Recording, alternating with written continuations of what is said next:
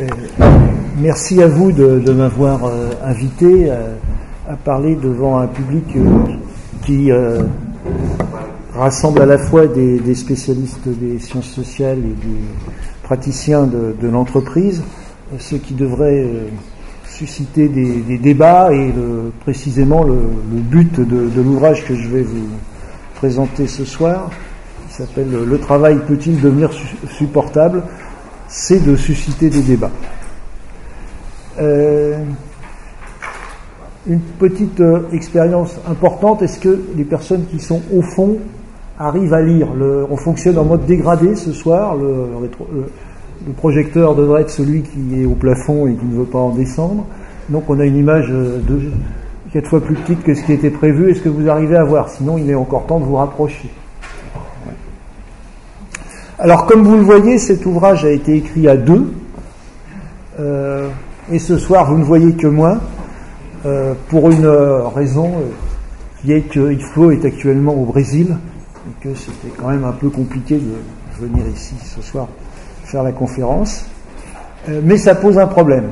Baptiste a rappelé brièvement mon, parcours. Moi, j'ai été sociologue. En plus, je faisais de la sociologie essentiellement quantitative, même si on ne fait jamais que de la sociologie quantitative, quand même, heureusement.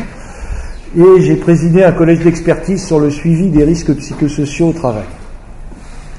Yves est euh, professeur au CNAM, il est professeur de psychologie du travail, donc il est euh, psychologue. Euh, sa méthode principale de recherche, c'est la recherche-action et il est l'auteur de bon nombre d'ouvrages dont je vous recommande la lecture, mais notamment d'un qui s'appelle Le travail à cœur pour en finir avec les risques psychosociaux. Alors pour en finir avec les risques psychosociaux, c'est une phrase qui est euh, à double sens. C'est à la fois euh, pour en finir avec euh, ce type de rapport au travail qu'on désigne sous le terme de rapport psychosociaux, de risques psychosociaux, mais c'est aussi pour en finir avec cette approche du travail par les risques psychosociaux.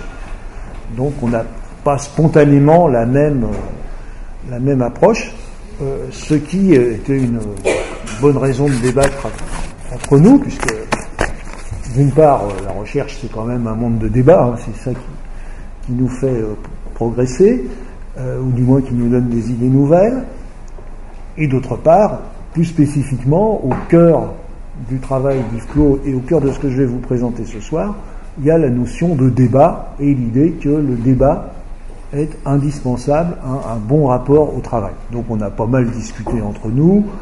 Euh, il va pas souhaiter être membre du collège d'expertise, mais on l'a auditionné. Euh, il a trouvé que le résultat des travaux du collège n'était pas si mauvais que ce qu'il aurait pu craindre compte tenu de la problématique initiale. On a continué à discuter, puis on s'est dit, ah ben, ça serait peut-être intéressant de faire un bouquin ensemble. Euh, et donc, euh, bah on l'a fait. Voilà. Alors, je dois vous préciser une chose. Ce livre, oui? Alors là. Ouais. Comme ça, ça va mieux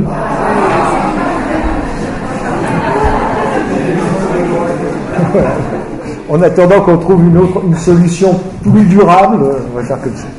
Voilà. Donc, c'est pas strictement parlé un ouvrage scientifique.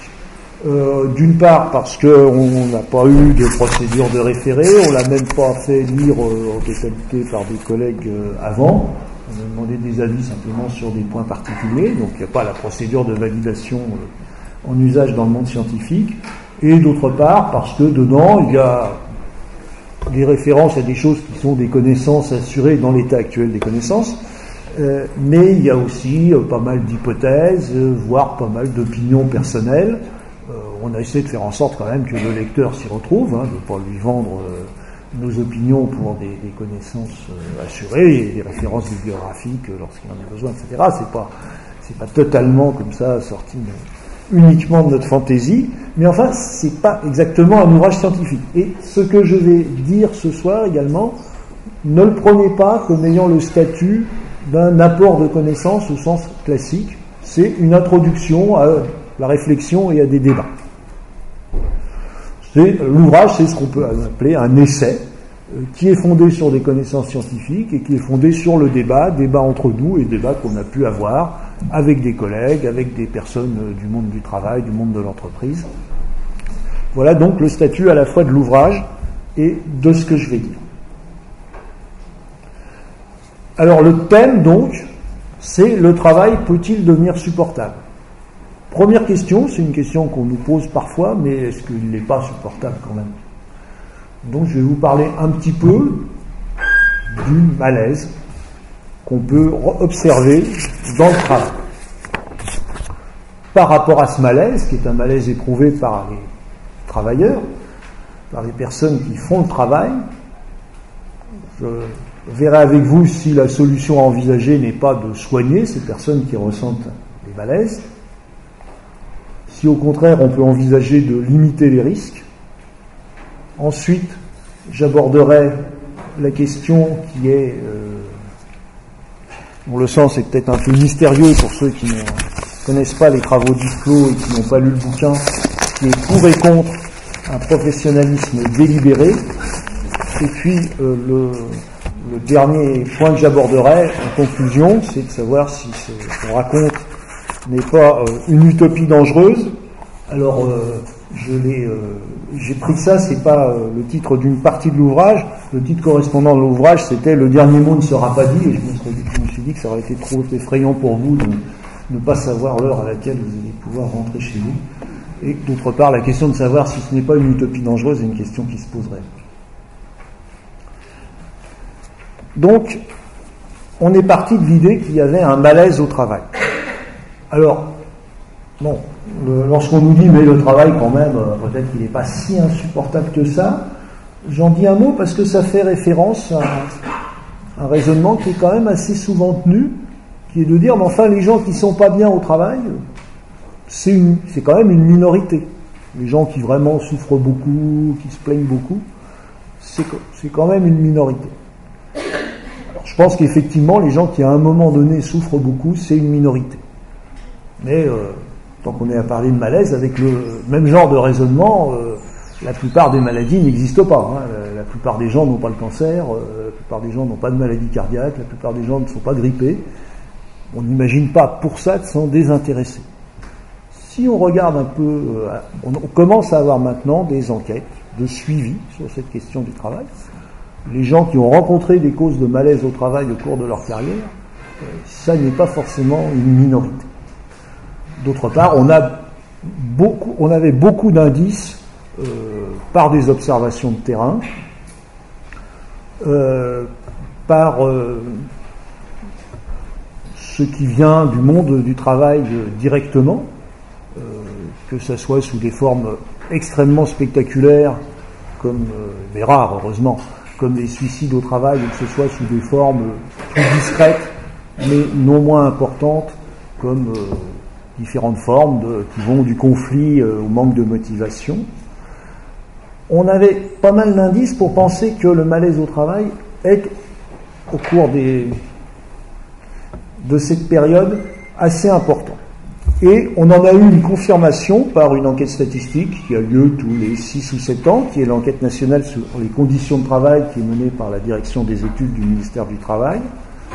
Euh, voilà, je vous en extrais quelques phrases. On pourra en venir aux chiffres dans la discussion si les chiffres vous intéressent. Voici ce que nous disent les, auteurs de la première de, l'enquête. Les changements organisationnels ont repris et les contraintes de rythme de travail se sont accrues après la relative stabilisation enregistrée entre 1998 et 2005. Alors stabilisation qui faisait suite à une assez longue période d'intensification du travail. Le contrôle ou suivi informatisé du travail est la contrainte de rythme qui s'est le plus diffusée. Sur la même période, les marges de manœuvre tendent à se réduire pour toutes les catégories socio-professionnelles, sauf les ouvriers non qualifiés. Les salariés signalent des possibilités de coopération plus importantes avec leurs collègues ou leur hiérarchie, ce qui est susceptible d'atténuer les effets d'intensification. Néanmoins, les tensions sont plus fréquentes avec les collègues ou les clients et usagers. De même, les salariés sont plus nombreux à vivre au travail des situations exigeantes sur le plan émotionnel. Donc, si je résume, reprise de transformations organisationnelles qui sont coûteuses, voire pénibles, voire insupportables pour au moins une partie des salariés, se traduisant par ce vécu de tension, de charge émotionnelle, avec néanmoins quelque chose qui est positif, alors ce qui est important, euh, important parce que d'abord quand même, euh, même pour nous autres dont la souffrance au travail est un peu le fond de commerce, c'est quand même bien de voir que les gens ont aussi des choses à quoi se raccrocher. Et c'est important aussi parce que si on veut impulser des transformations positives, pouvoir se fonder sur des mouvements qui existent, c'est quand même quelque chose d'important. Et donc là, il y a quand même euh, ce mouvement de coopération qui vient en partie, mais en partie seulement, contrebalancer les effets de l'intensification euh, et de la réduction des marges de manœuvre. Alors face à ce malaise, sur les manifestations duquel on pourra revenir si vous voulez, qu'est-ce qu'on peut faire? Bah, Donc là, alors peut-être pas la première chose à laquelle on peut songer, mais parmi les choses à laquelle on peut songer, il y a soigner ces gens qui ne vont pas bien dans leur travail. Si vous êtes un habitué de la sociologie du travail, de l'ergonomie, de la plupart des courants de ces disciplines, euh, vous êtes dans l'idée que non, c'est pas ça qu'il faut faire. Néanmoins, euh, il me semble que dans les entreprises, c'est quand même très souvent ça qu'on fait. Si on regarde un peu le marché de l'intervention sur les risques psychosociaux au travail, qui est un marché qui a explosé au cours des dernières années, une très grande partie de l'offre, et on peut penser aussi de la demande, tourne autour de ça ces gens ne vont pas bien, ben soignons-les. Alors, les facteurs de risque psychosociaux au travail, c'est quoi? C'est des formes d'organisation dont l'interaction avec le psychisme des personnes est problématique. Donc, le psychisme des personnes est bien en cause. Alors, à l'opposé de la pratique enfin d'une partie de la pratique du traitement des risques psychosociaux qui est de se polariser sur les, individus, vous avez ce qui est majoritairement le point de vue des confédérations syndicales, qui est de dire non, ce n'est pas une question d'individu, c'est une question d'organisation. Cette position est en partie une réaction à la position des organisations patronales qui ont un discours assez ambigu consistant à dire c'est l'interaction des individus et des organisations, mais euh, n'oublions surtout pas les individus, les individus sont extrêmement importants, etc. Et à force de ne pas oublier les individus, on a tendance, comme je vous l'ai dit, en pratique, assez souvent à ne plus voir que. Cela dit, quelle que soit la position des syndicats, euh, prendre en compte les individus lorsqu'on parle tout ce qui tourne autour de risques psychosociaux ou de la souffrance au travail, à mon avis, c'est pas une approche conservatrice spécialement, c'est pas une approche patronale spécialement. Euh, ne serait-ce que parce que dans le domaine des risques physiques, assez souvent c'est le contraire. Les ergonomes passent leur temps dans les entreprises à expliquer, pour prendre un exemple qui fait image, qu'une étagère qui est à 1m60 du sol, elle est peut-être très bien pour quelqu'un qui mesure 1m80, mais que pour une dame qui mesure 1m55, ça va pas. Hein, et qu'il faut prendre en compte les facteurs individuels. Donc il n'y a pas de raison, dans le domaine euh, des formes organisationnelles, des risques psychosociaux, de la souffrance, euh, de euh, ne pas prendre en compte ces facteurs individuels. Cela dit, dire que ces facteurs individuels jouent un rôle n'implique pas que la meilleure forme d'action soit l'action sur les individus. C'est simplement une question qu'on peut se poser. Est-ce que c'est pertinent d'agir sur les individus? Alors comment on peut agir sur les individus?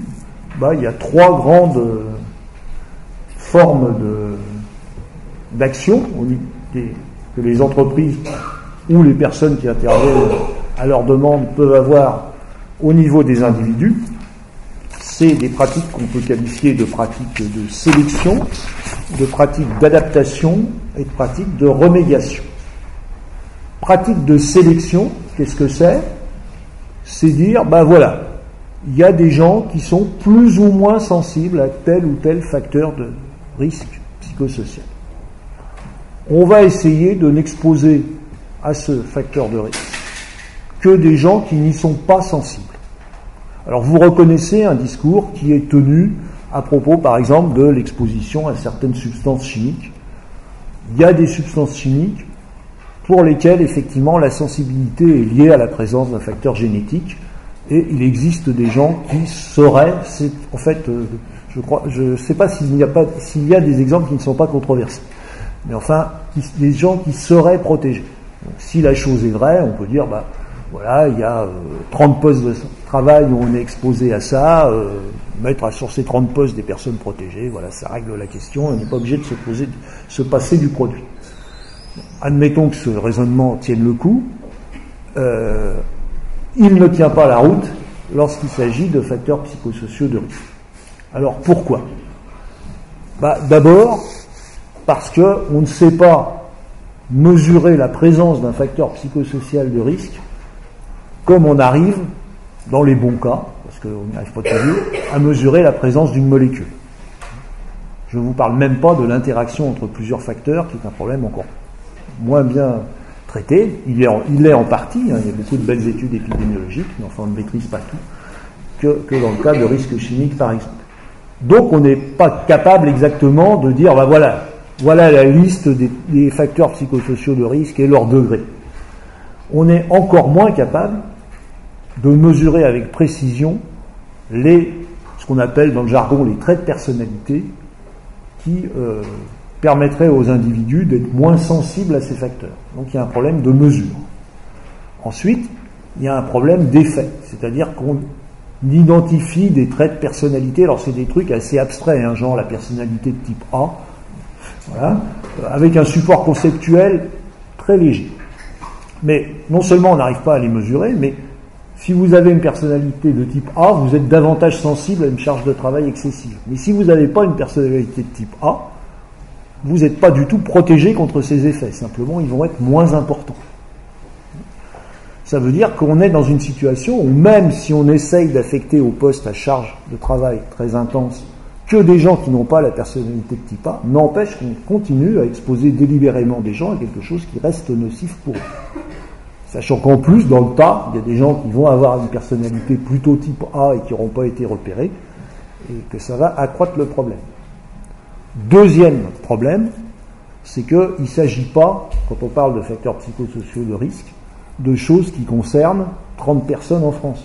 Il s'agit de choses qui concernent 10, 20, 30, 40% de la population active. Donc vous voyez bien que si, à cause de vos caractéristiques psychologiques, vous êtes exclu de 40% des emplois parce que vous avez une personnalité type A, et puis vous êtes encore exclu de 20% du reste parce que vous avez un autre trait de personnalité qui ne vous protège pas d'autre chose, bah, votre risque de chômage est quand même très très sérieusement augmenté.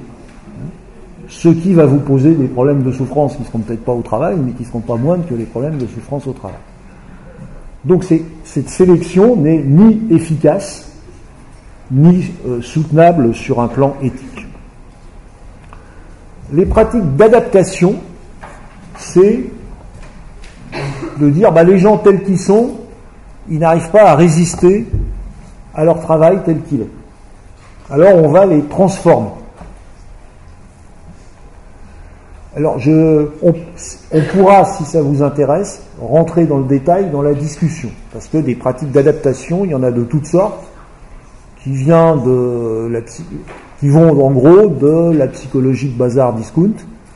Euh, si ça vous amuse, je vous montrerai un exemple, hein, on en trouve facilement sur Internet, euh, jusqu'à des choses plus sérieuses, que ce soit des, enfin des, oui, des thérapies, en fait il s'agit de thérapies, euh, d'inspiration euh, cognitive et comportementale ou d'inspiration psychanalytique.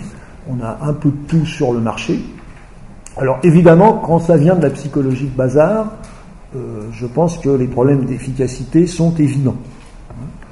Quand on est dans des démarches plus sérieuses, ils n'en sont pas moins là. Parce qu'en général, déjà, on n'est pas du tout dans des conditions euh, favorables à une véritable euh, thérapie. C'est-à-dire que la personne, ce n'est pas le salarié qui est demandeur, c'est son entreprise. Souvent, c'est même elle qui paye. Hein. Maintenant, il y a des chèques euh, psy, euh, vous, avez, droit à 10 séances gratuites. Bon, 10 séances, ça ne permet pas en général d'aller très loin. Enfin, euh, voilà, mais vous n'êtes pas demandeur. donc, vous, savez sans doute que même quand on est demandeur d'une psychothérapie, la réussite n'est pas assurée. D'autre part, il y a également des formes de thérapie qui ne sont pas forcément axées sur un résultat particulier. Donc ça pose des problèmes. Ça pose d'autant plus de problèmes que euh, les thérapies sérieuses, qu'elles soient euh, cognitivo-comportementales ou d'inspiration analytique, ont pour ambition de rendre les personnes plus lucides sur leur situation. Par exemple, euh, un des arguments pour les thérapies cognitivo-comportementales, c'est de dire le stress ça vient du sentiment d'un désajustement entre les ressources dont on dispose et le caractère menaçant de la situation dans laquelle on est placé. Alors, quand les gens sont stressés, on dit qu'il bah, faut leur donner une thérapie qui va leur permettre de voir de façon plus lucide le rapport, leurs ressources et les, menaces. Avec l'idée que les gens sous-estiment leurs ressources et surestiment les menaces. Il suffit de se balader sur euh, un chantier de bâtiment, par exemple, et de voir comment les gens se comportent, pour voir qu'il y a beaucoup autant de gens qui sous-estiment les menaces et qui surestiment leurs ressources que l'inverse. Il y a des gens qui prennent des risques parce qu'ils sous-estiment les menaces et qui surestiment leurs ressources. C'est exactement pareil dans le domaine des risques psychosociaux. Il y a des tas de gens qui sont persuadés qu'ils vont tenir, il n'y a pas de problème, jusqu'au jour où ils craquent. Donc les rendre plus lucides, ça n'a pas du tout forcément le résultat espéré. A un vrai problème d'efficacité. Après, il y a un problème éthique, qui est que quand euh, on, euh, on, a affaire à des problèmes qui concernent une très large fraction des personnes au travail, bon d'abord, alors il y a autre problème d'efficacité, c'est que les envoyer tous chez le psy, il n'y a pas les moyens de faire ça sérieusement, il n'y a pas les moyens financiers, mais y arriverait-on C'est une forme de psychiatrisation de masse dont même les dirigeants soviétiques à la belle époque n'avaient euh, pas osé rêver.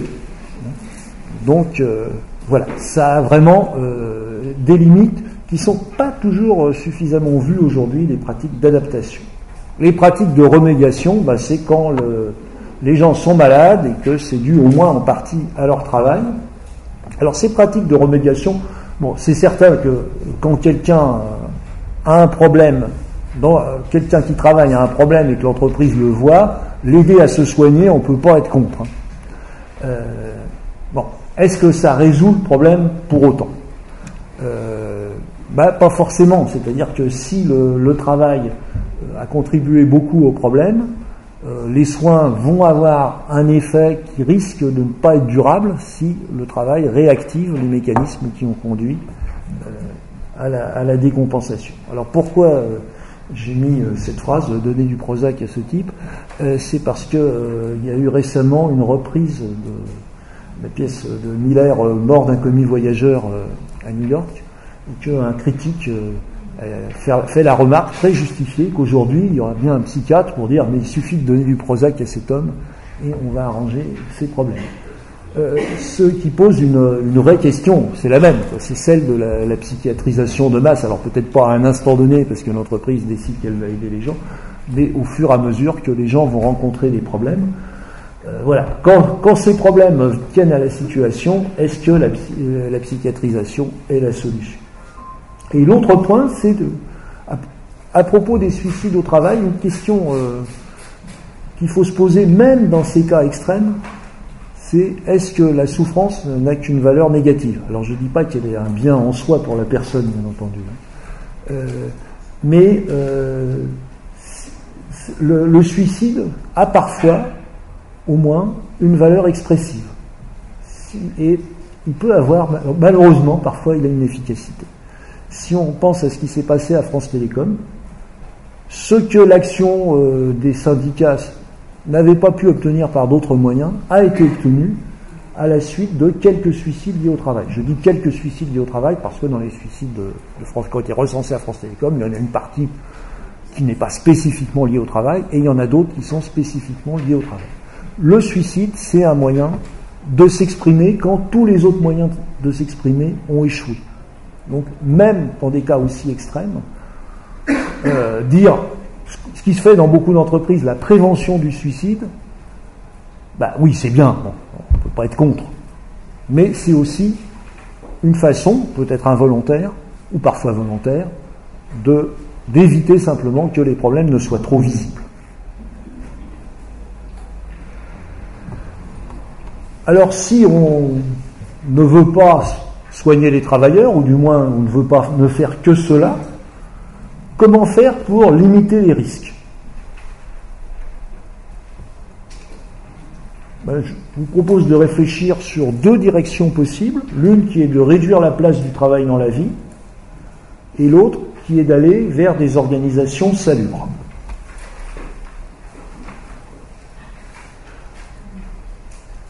réduire la place du travail dans la vie, c'est, moi je pense qu'il faut euh, étudier ça. D'une part, il se trouve qu'en France, on a la chance d'avoir fait ce, dont rêvent tous les économistes partisans des expériences naturelles, les 35 heures.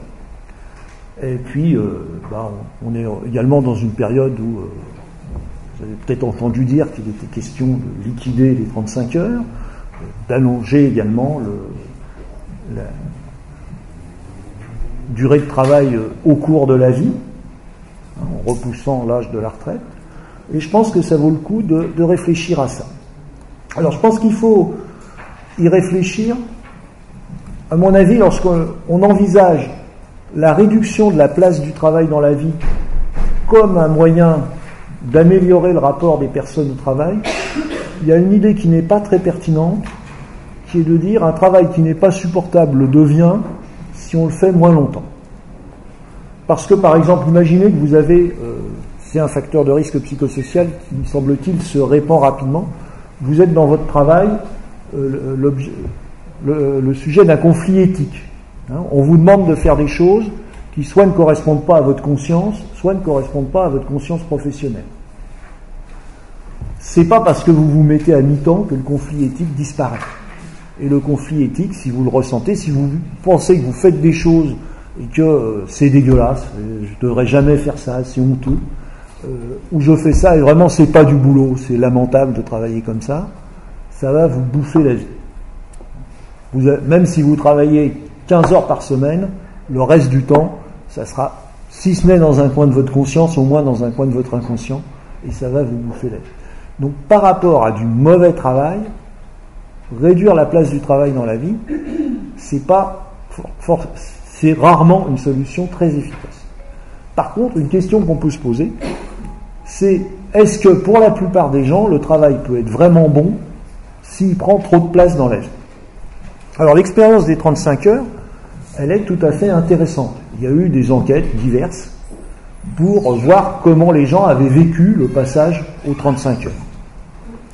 Et si je peux euh, résumer, caricaturer un peu le résultat, le premier résultat, c'est que la très grande majorité des gens ont vécu ça comme une amélioration de leur vie et comme une amélioration de leur vie de travail, à la fois de leur vie hors travail et de leur vie de travail. Le deuxième point, c'est qu'une minorité importante des personnes sont d'un avis totalement opposé. Hein, c'est pas seulement oh, c'était neutre, c'était oh là là, c'était la catastrophe et que si on va voir un peu le cas de ces gens qui nous disent ça a été la catastrophe, c'est toujours des choses qui sont très liées à des formes d'organisation du travail, d'une part. Alors soit l'organisation du temps de travail, soit l'organisation du travail elle-même, parce que évidemment, euh, face aux 35 heures, en particulier, le cas le plus caricatural, c'est le cas euh, de la fonction publique hospitalière, où il n'y a pas eu d'embauche, il a fallu se débrouiller alors que le temps de travail était souvent déjà très saturé, mais ce n'est pas un cas isolé. Euh, à ce moment-là, évidemment, il y a eu des transformations négatives du travail qui ont plus que contrebalancé les effets positifs des 35 heures.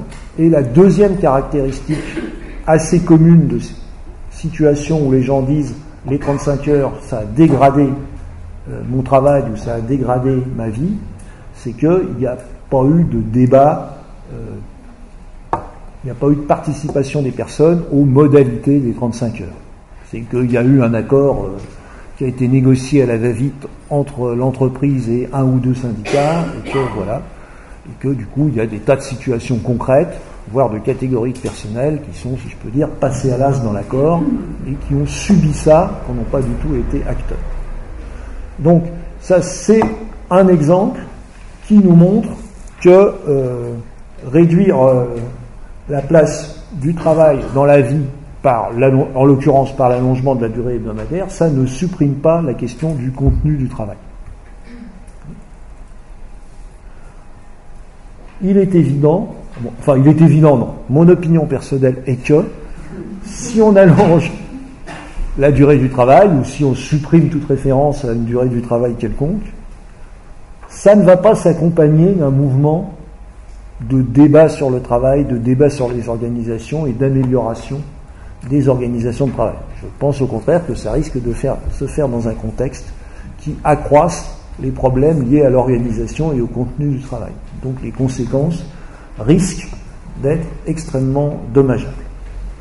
Dernier point, dont je peux parler là parce que j'ai fait depuis quelque temps un peu d'observation participante dessus, c'est la question de la retraite. Alors je vais appeler la retraite tout au long de la vie, parce que, bon, là c'est un point de vue très personnel, euh, je peux me dire très minoritaire dans le milieu de la recherche, euh, selon lequel, euh, en tout cas la possibilité de prendre dans des conditions économiques décentes sa retraite à un âge pas trop avancé, est de nature pour beaucoup de gens à changer de façon positive le rapport qu'ils ont à leur travail. un rapport positif à son travail, c'est plus qu'un travail supportable, ou plus exactement, étant donné que de plus en plus le travail exige qu'on s'implique dedans, un rapport simple, dire mon travail est simplement supportable, ça existe de moins en moins. C'est-à-dire où le rapport au travail est bon, ou le rapport au travail est franchement mauvais. Et euh, si euh, il y a des gens qui effectivement arrivent à trouver dans leur travail tout ce que ne leur apporte pas, bah, disons, leur vie familiale, affective et sexuelle. Hein, ils pratiquent ce que Freud appelait la sublimation dans le cadre de leur travail. Je pense que c'est rarissime parce que rien dans les processus euh, d'appariement des personnes ou des postes ne favorise tellement ça. Vous découvrez après coup que bah, votre travail c'est super, ou en général que bah, votre travail, ouais, c'est bon, pas mal, mais enfin bon, voilà, euh, ça va un bout de temps, mais enfin, euh, j'en ai de plus en plus marre, vivement la retraite, euh, voilà. Et là, savoir si vous allez pouvoir faire d'autres choses, alors soit dans le cadre de la semaine, soit dans le cadre de l'année, soit dans le cadre de la vie, ça change quand même le rapport que vous avez à votre travail. De plus vous sentir coincé dedans. Alors, autre voie d'amélioration du rapport des personnes au travail, c'est d'aller, si on peut, vers des organisations salubres. J'ai employé le mot salubre exprès parce que c'est pas un mot très utilisé en France, mais euh, des pays qui sont en avance dans la réflexion et parfois dans l'action là-dessus, comme euh, le Canada les pays scandinaves utilisent des, mots qui veulent dire ça. Alors là, voilà, un petit peu de chiffres quand même je n'ai pas pu m'empêcher. Euh, je vous présente des chiffres issus d'une enquête euh, à la fois, enfin d'un travail qui a été fait par euh, deux chercheurs britanniques à partir de l'enquête européenne de 2010 sur les conditions de travail en Europe, en utilisant une classification des organisations qui a été élaborée par un chercheur franco-américain, Edouard Lorenz, et un chercheur français, Lorenz Valère, qui sont tous les deux économistes. Donc euh, Green et Mostafa ont défini, alors je, je vous, euh, je vous le définis pas, je vous demande de leur faire et de me faire confiance, ce qu'ils appellent des emplois de bonne qualité à partir d'un ensemble de caractéristiques des conditions de travail. Ils ont mesuré euh, le pourcentage d'emplois qu'on peut considérer selon eux comme de bonne qualité dans les différents pays de l'Union européenne. Et puis par ailleurs, en utilisant les travaux de Lorenz et Valère, ils ont mesuré le pourcentage d'emplois qui sont caractérisés par ce que Lorenz et Valère appellent l'organisation apprenante.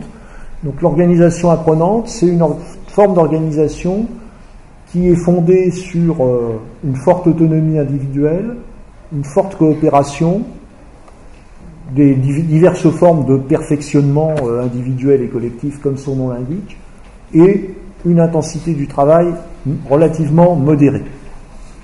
Ce qu'il constate, vous le voyez sur le tableau, c'est que les trois pays qui offrent les emplois de meilleure qualité sont les trois pays où l'organisation apprenante est la plus répandue. Ce que vous ne voyez pas dans le tableau, mais que vous savez, c'est que ce sont également des pays dont les économies se portent plutôt bien. Prouve que ces formes d'organisation sont loin d'être inefficaces. Donc oui, c'est quand même quelque chose qui nous donne, euh, qui nous dit, bah finalement, il y a quand même des possibilités d'avoir des formes d'organisation qui procurent des emplois de bonne qualité hein, et qui sont efficaces.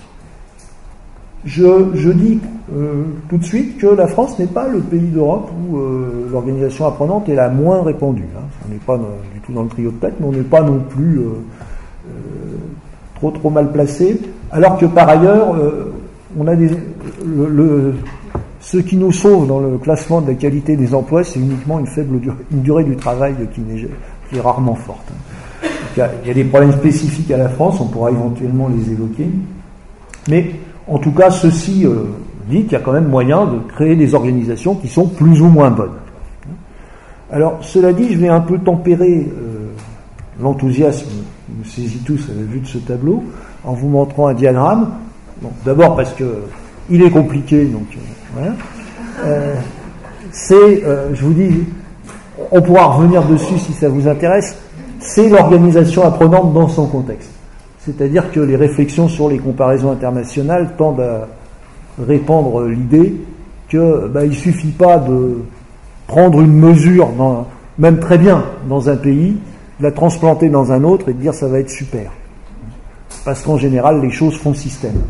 Et là, l'organisation apprenante, elle fait système avec beaucoup de choses, euh, notamment bah, les pays du nord de l'Europe sont des pays relativement égalitaristes, sont des pays où les syndicats sont forts, sont des pays euh, qui ont une école qui est efficace et égalitaire, sont des pays dont les systèmes de promotion sociale marchent bien, où le degré de confiance est élevé. tout ceci fait système. Hein, c'est ce que ce qu'essaye non pas de vous montrer parce que vous n'avez pas le temps, mais de vous suggérer ces flèches. Euh, et ça ne veut pas dire qu'il ne faut pas essayer d'aller vers davantage d'organisations apprenantes. Ça veut dire que ce mouvement interne aux entreprises ne peut marcher vraiment bien que si le contexte suit ou précède, hein, ou va ensemble. Je ne sais pas comment il faut dire.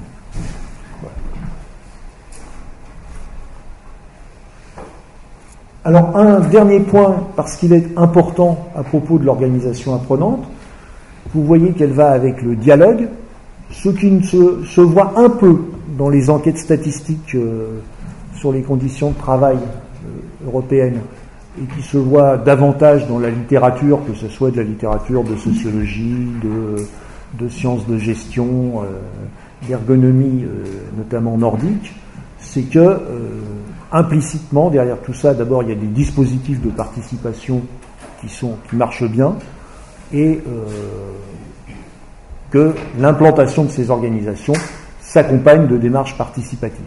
Autrement dit, il y a du débat. Il n'y a pas seulement une organisation qui est octroyée, mais il y a du débat derrière. Et c'est précisément là-dessus que je vais insister maintenant à propos de que j'ai appelé pour et contre un professionnalisme délibéré. Alors de quoi s'agit-il? Ben, Je vais vous... Voilà, là vous voyez s'afficher des choses un peu mystérieuses si vous n'avez jamais lu du Yves Clos euh, ou ses collègues proches. Euh, je vais vous dire pourquoi cette idée de, professionnalisme délibéré, qui n'est pas de moi, hein, qui est libre, euh, me paraît tout à fait intéressante. Pour ça, je vais vous parler de santé, de style de travail et de conflit. Et également, parce que j'ai l'esprit de contradiction, je vais un peu parler des obstacles à ce professionnalisme délibéré, à ses limites et à ses effets pervers possibles. Je vais essayer de pas être trop long. Alors cette notion de professionnalisme délibéré, elle vient directement euh, des interventions que la, clinique de l'activité, donc qui est le, courant de recherche porté par Yves Clos et ses collaborateurs, euh, des interventions qu'ils ont menées dans pas mal d'entreprises pour créer ce qu'ils appellent du métier, mais qui est le, pas très éloigné du sens intuitif du mot métier, en mettant en débat le travail. D'abord, avant de vous parler du rapport entre ça et la santé, une petite question, qu'est-ce que c'est que la santé? Et puis après, on passera à la suite, qu'est-ce que c'est que le style Qu'est-ce que c'est Pourquoi je parle du conflit? Quel bénéfice ça peut apporter? La santé, il y a trois définitions. Il y a une définition euh, qui est la santé, c'est l'absence de maladie. Alors maintenant, pensez ça, ça fait euh, soit pas pro, soit ringard. N'empêche qu'implicitement, c'est quand même l'idée qui guide de nombreuses interventions dans le monde du travail. Pensez aux interventions de prévention du suicide. C'est quand même dire la personne ne suicide pas, c'est quand même une définition très restrictive de la santé mentale. Alors vous avez la définition de l'OMS qui est la santé est un état de complet bien-être physique, mental et social et ne consiste pas seulement en une absence de maladie ou d'infirmité. Donc c'est une définition qui est beaucoup plus ambitieuse, moi personnellement j'aurais tendance à dire beaucoup plus intéressante, euh, qui néanmoins peut être sujette à deux critiques. La première, c'est qu'elle est trop ambitieuse. C'est-à-dire que euh, un état de complet bien-être physique, mental et social, non, ça arrive de temps en temps. Euh, même dans notre pays où on a du bon vin, c'est quand même pas si courant que ça. Et la deuxième, c'est que c'est une définition statique. Les, deux critiques se rejoignent. On peut à un moment être dans un état de complet bien-être. Cela dit, la question c'est est-ce que c'est durable?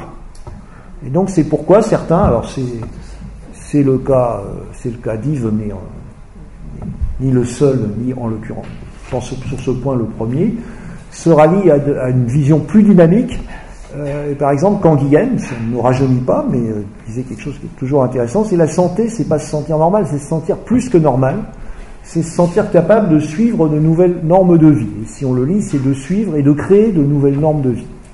Autrement dit, la santé, c'est la capacité, non pas seulement d'être en harmonie avec euh, son environnement, comme dans la définition de l'OMS, mais d'agir sur son environnement, donc environnement physique et environnement social.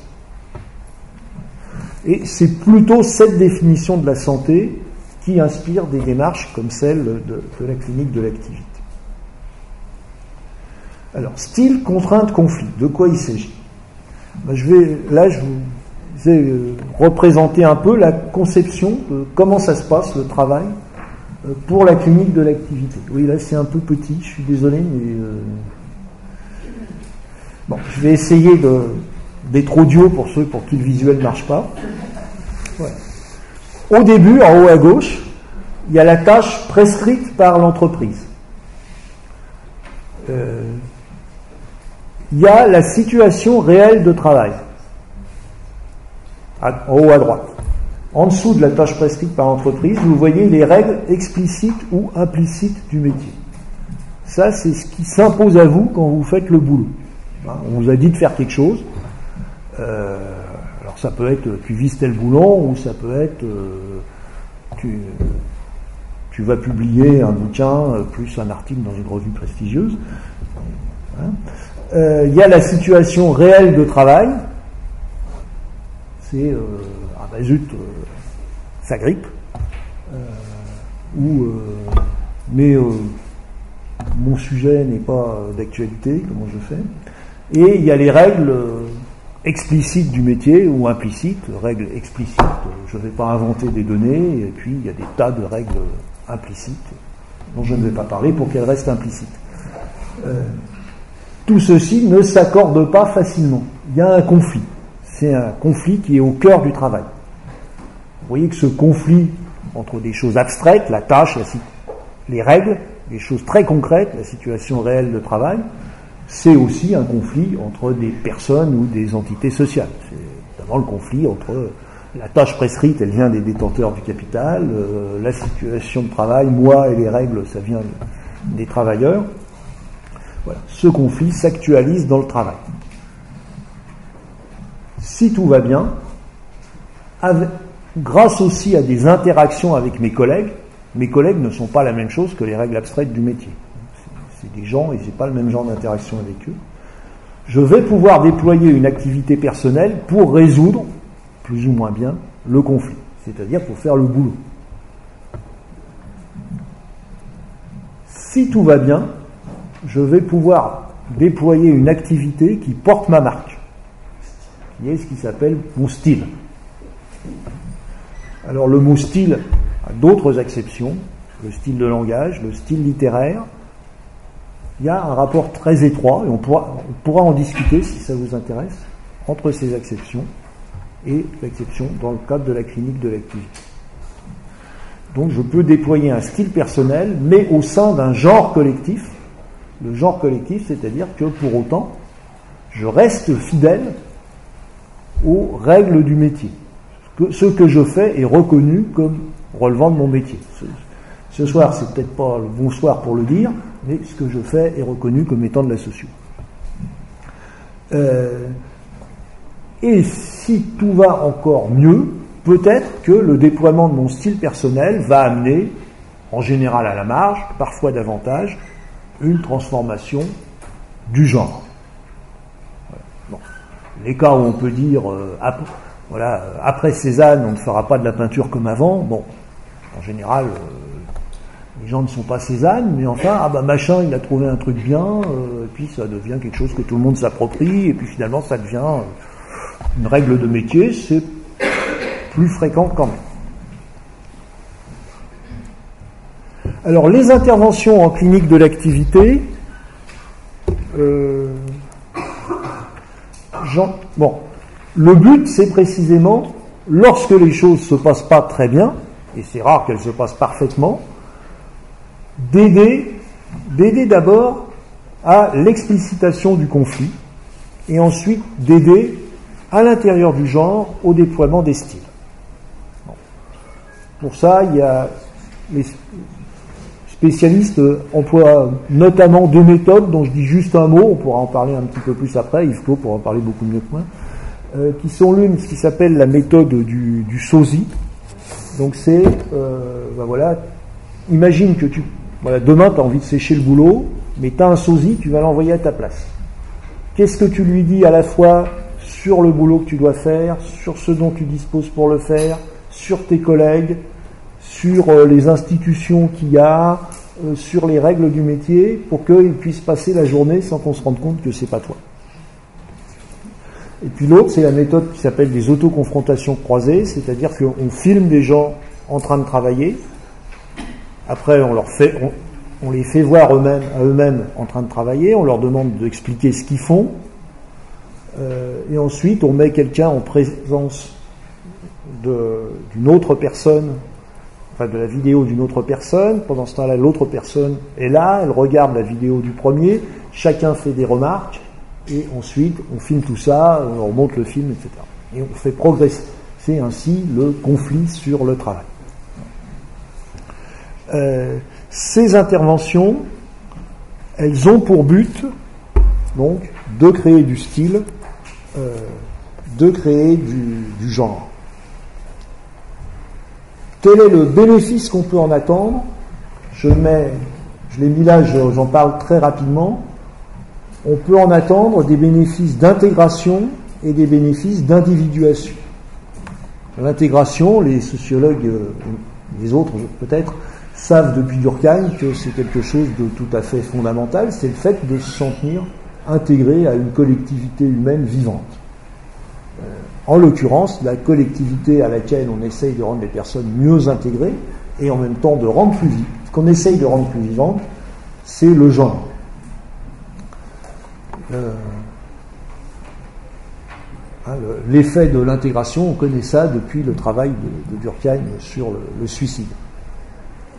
L'individuation, c'est ce qu'on recherche à travers le déploiement d'un style, c'est que chacun se sente non pas prisonnier du genre, non pas soumis à des règles trop strictes, dont on sait qu'elles sont euh, tout aussi nocives que l'ennemi, mais qui sentent qu'il peut, tout en étant lui-même différent des autres, être quand même intégré dans le genre.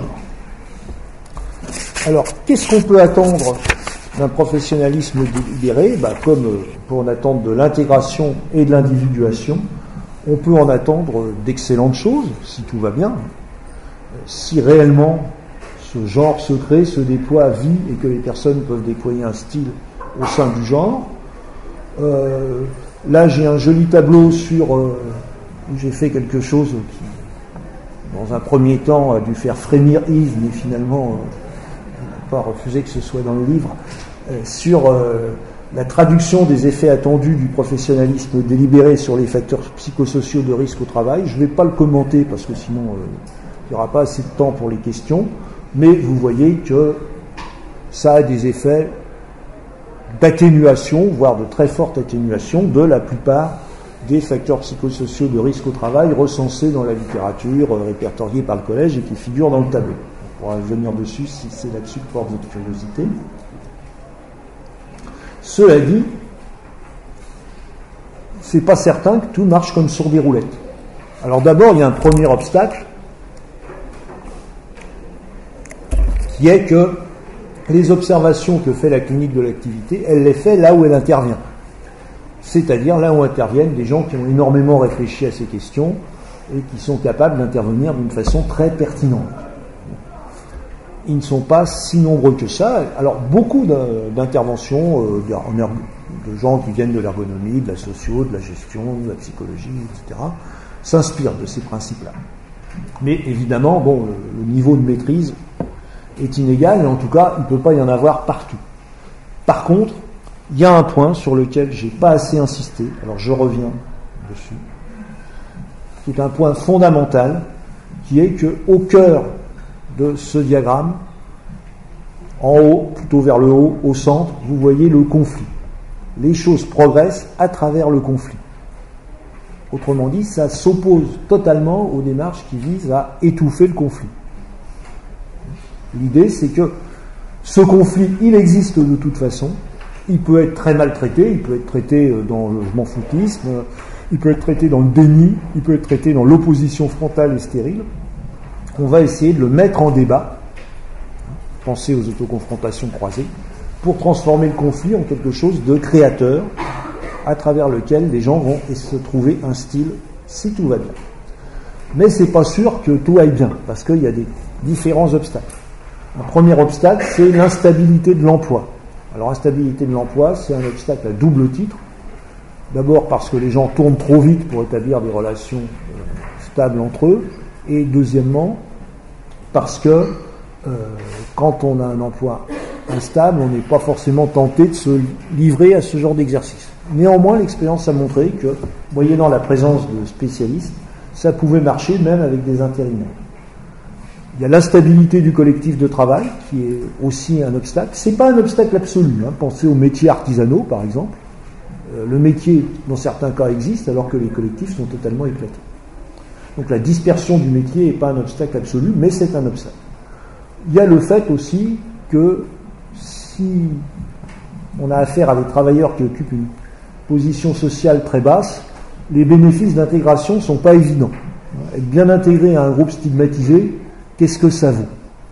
Qu'est-ce que ça nous apporte comme intégration à la société globale? C'est une question qui peut se poser. Et puis, il y a l'organisation et les conditions du travail elles-mêmes.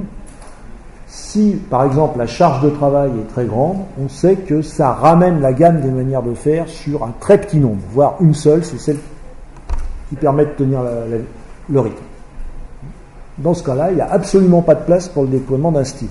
Donc vous pouvez laisser les gens discuter euh, indéfiniment, de toute façon, ils seront ramenés à ça tant que ce problème d'intensité n'aura pas été résolu. Ou tant que le périmètre de la discussion n'aura pas fait apparaître et accepter par l'entreprise d'autres formes d'organisation qui réduisent la charge de travail individuelle, bien entendu. Mais ça impose d'aller assez loin. Il y a des limites.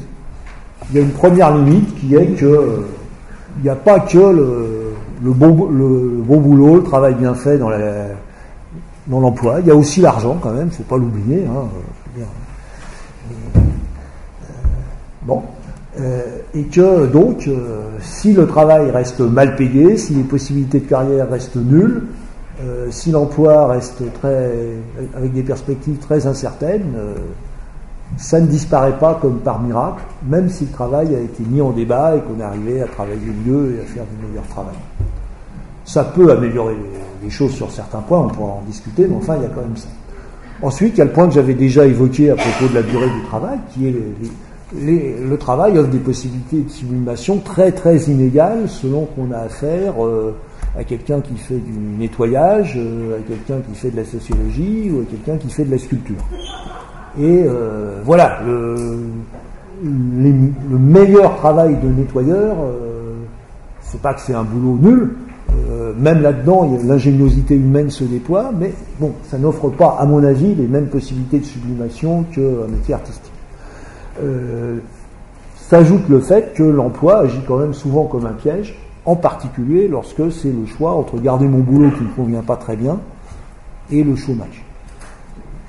Donc c'est aussi une limite. Il y a des effets pervers possibles. Il y a le corporatisme alors qui peut se traduire par une dégradation du service rendu. Je ne développe pas l'exemple, euh, on pourra en discuter.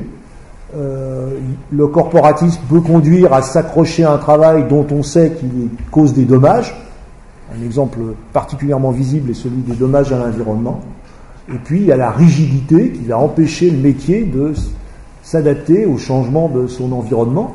Alors il ne s'agit pas de dire qu'il faut s'adapter à la mondialisation heureuse qui n'a que des bienfaits. Hein mais on ne peut pas non plus euh, envisager euh, de vivre dans une économie qui serait figée, où il n'y aurait pas de changement technologique, pas de changement des flux commerciaux, etc. Euh, le métier peut entraîner des rigidités. Il peut, la, le professionnalisme délibéré peut entraîner une polarisation des métiers. Ça, c'est un effet réellement pervers, c'est-à-dire que les capacités à débattre et surtout à faire valoir son point de vue dans les débats, elles sont très inégales. Elles sont très inégales selon la formation initiale, elles sont très inégales selon qu'on est un homme ou une femme, elles sont très inégales selon qu'on est un ancien ou un nouveau. Et puis il y a un dernier risque qu'il faut signaler, c'est le risque de récupération, c'est-à-dire que l'entreprise, après avoir toléré une période de débat, euh, dise bah, bon très bien, il s'est dit des choses intéressantes, on va prescrire les formes d'organisation qui sont apparues comme étant euh, les meilleures, et ensuite on revient à notre façon de travailler euh, standard, qui est que voilà, on a prescrit une organisation qui est très bien, donc on n'en débat plus. Et puis on recherche l'efficacité. Ça, c'est, ça serait très proche de ce, qui a été très bien décrit par Louis Boltanski et F. Capello dans le Nouvel Esprit du Capitalisme, comme étant le mouvement qui s'est passé au cours des années 80 euh, où là il s'agissait de développer l'autonomie individuelle, et ça s'est traduit par quoi? Par quasiment pas de développement de l'autonomie individuelle à la fin du compte, et par une très forte intensification du travail. Donc c'est également un risque. Alors si vous vous souvenez du petit diagramme euh, qui représentait les conditions de bon fonctionnement des organisations apprenantes, bah, vous voyez qu'évidemment ces risques sont très dépendants de l'environnement et également très dépendants du fonctionnement interne de l'entreprise néanmoins, il y a des risques. Alors, est-ce que ce qu'on propose dans le bouquin ne serait pas une utopie dangereuse? D'abord, est-ce que ce n'est pas un délire de chercheur? Il y a quand même un indice très fort que ça pourrait être un délire de chercheur. Parce que ce dont on dit que c'est bien, euh, c'est euh, voilà, un métier défini par un genre, avec ses règles, euh, qu'on suit, mais en même temps qu'on discute, dont on débat, qui évolue, où chacun déploie son style ça ressemble beaucoup au milieu de la recherche quand il fonctionne bien. Donc quand quelqu'un dit ah bah faites comme chez moi, c'est super, faut se méfier. Je vous le dis qu'à la fin, quand vous m'accordiez un petit peu de crédit pendant l'exposé, mais enfin méfiez-vous de tout ce que je vous ai raconté. Non, non, je suis très sérieux. C'est pas du tout une blague. Euh, c'est qu'on peut essayer de maîtriser un petit peu les effets de sa propre position sociale, mais on n'y arrive qu'à la marge. Donc je pense qu'il y a une part délire de chercheur dans ce qu'on raconte. Je pense vraiment. Alors, les effets probables du professionnalisme délibéré, j'avais prévu un joli tableau qui complétait le précédent, mais j'ai dû sentir que je n'aurais pas le temps, donc je l'ai oublié. Euh, alors, ce que je peux vous dire, c'est que si ça se passe bien, vraiment, ça peut faire beaucoup de bien. C'est pour ça que je suis là ce soir. Si je ne pensais pas, je ne vous en parlerai pas. Mais si ça se passe mal, ça ne va pas être neutre.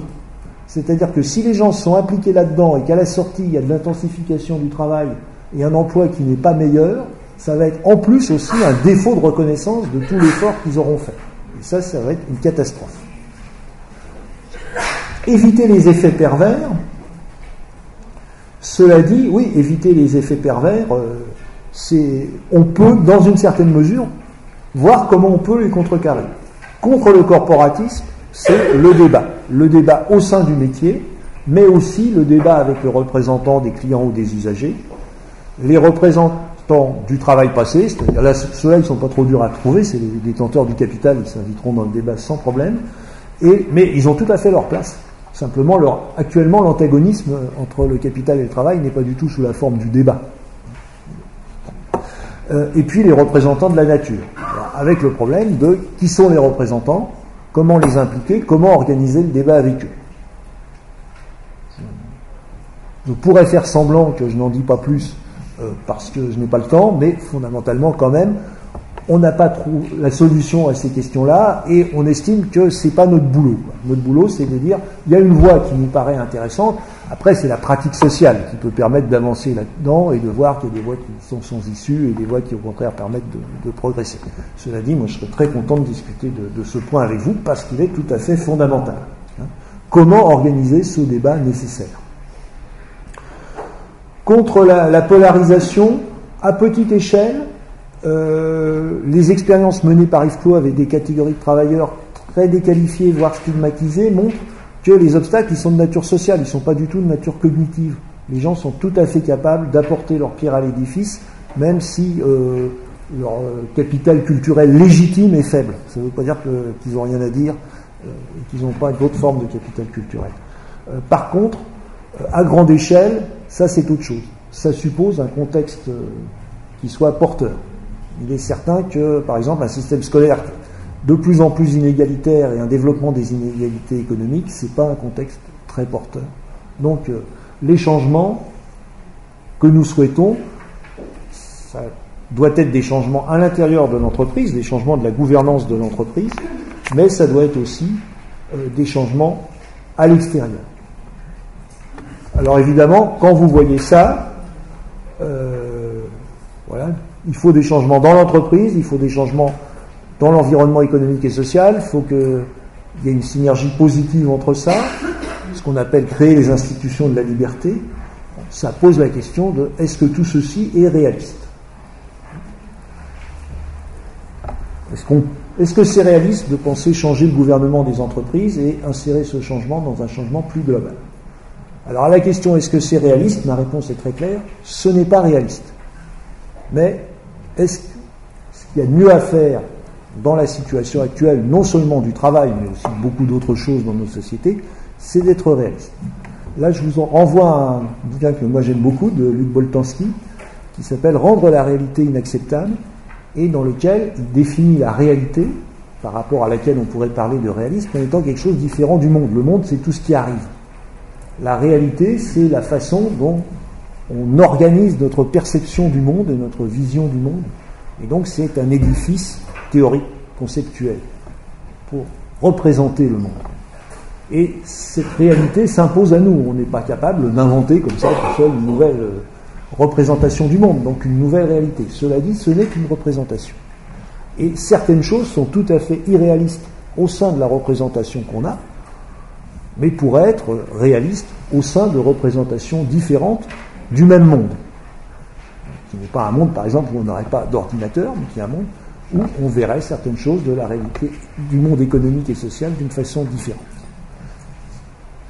Voilà. Donc, comme le laissait entendre le livre, je ne conclus pas, il n'y a pas de dernier mot dans mon exposé, mais néanmoins, après vous avoir remercié de votre patience, je vous remercie par avance de vos questions.